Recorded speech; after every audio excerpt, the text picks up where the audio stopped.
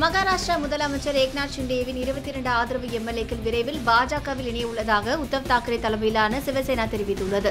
தனது அதிகாரப்பூர்வ பத்திரிகையான சாம்னாவின் தலையங்கத்தில் இதனை சிவசேனா குறிப்பிட்டுள்ளது.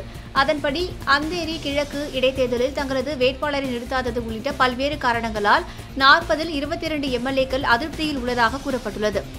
எப்போது வேண்டுமானாலும் ஏக்நாத் ஷிண்டேவின் முதலமைச்சர் இருக்கை பறிக்கப்படலாம் எனவும் தனக்கும் மகாராஷ்டிராவுக்கும் அவர் பெரும் சேதத்தை ஏற்படுத்த போகிறார் எனவும் தெரிவிக்கப்பட்டுள்ளது.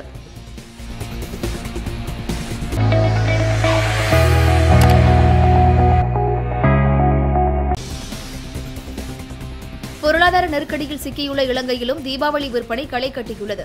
மலையக பெருந்தோட்ட பகுதிகளில் உள்ள நகரப் பகுதிகளுக்கு வந்த பொதுமக்கள் புத்தாடை இனிப்புகள் உள்பட பல பொருட்களை ஆர்வத்துடன் வாங்கிச் சென்றனர்.